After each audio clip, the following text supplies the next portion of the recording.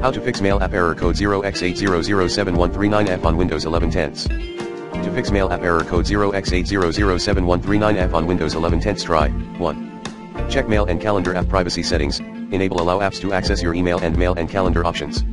2.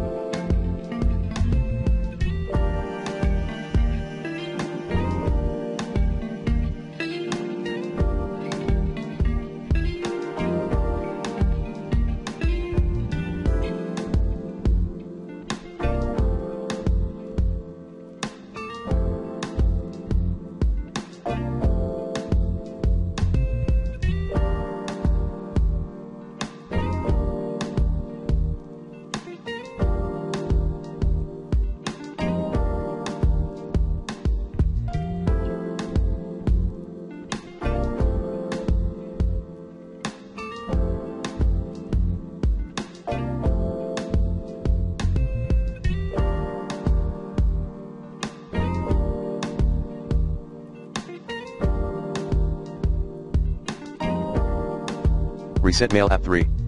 Remove. Using this command get UPS provision package online where object dollar underscore dot package name like Windows Communications apps remove UPS provision package online in PowerShell as admin, and reinstall Mail App 4. Log into Windows using local account.